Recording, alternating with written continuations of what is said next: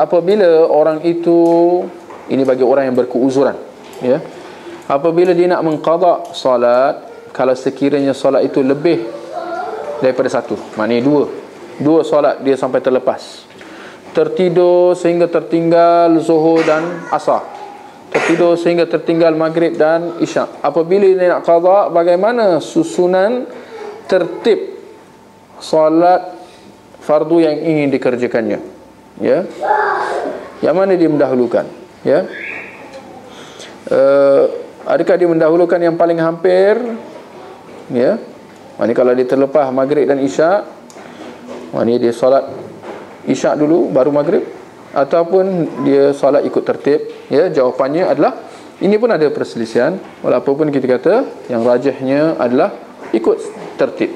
Ya kerana solat fardu ni ya telah diwajibkan dengan tertib. Ya, maka apabila dia nak kerjakan hendaklah di solat dengan ikut tertibnya. Ya, maka zuhur sebelum asar. Ya, asar sebelum maghrib, maghrib sebelum isyak ikut tertib. Seperti mana kalau orang tu uh, nak jamak solat ketika dia bermusafir ya atau apabila ada keperluan ketika bermukim.